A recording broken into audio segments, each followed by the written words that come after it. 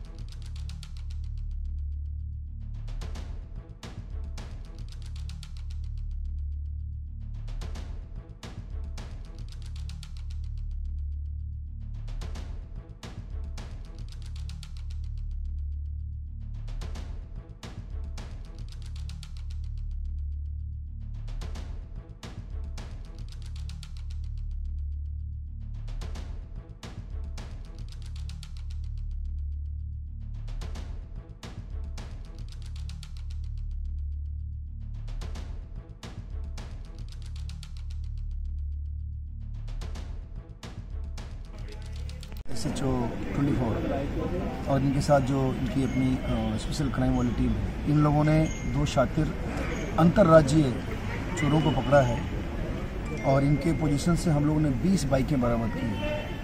Basically आपको पता है कि यहाँ से ऑटो लिफ्टिंग ज़्यादा होती है। हम लोगों ने हमेशा ऑटो लिफ्टर्स के खिलाफ विशेष अभियान चला रखा है और उसी क्रम में ये दोनों की गिरफ्तारी हुई है। एक सुमित है और दूसरा सलमान है।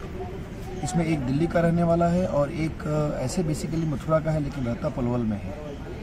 और ये लोग यहाँ से उठाते थे बाइक और उसको ला करके हिसार में एक अरोड़ा है, उसके यहाँ डिस्पोज ऑफ़ करते थे।